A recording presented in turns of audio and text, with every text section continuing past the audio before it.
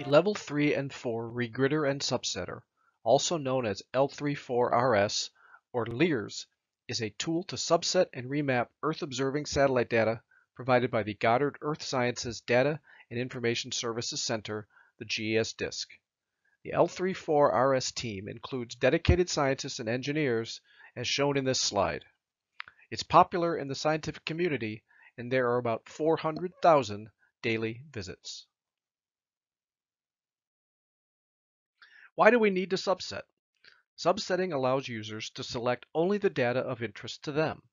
It saves considerable processing time and storage space. For example, for modern era retrospective analysis for research and applications, MERRA-2 data products, it could save 95% of the disk space volume compared to the full dataset volume. Why do we need to regrid? Regridding allows users to compare data from different missions, i.e. different grid resolutions. L34RS now provides seven different interpolation methods and 33 different grids.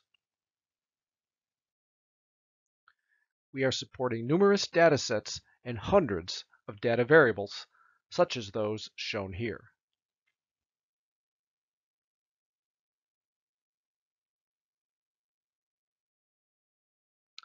Data formats are varied, including NetCDF, HDF5, HDF EOS2, EOS5, GRIB, GeoTIFF, and Cloud Optimized GeoTIFF.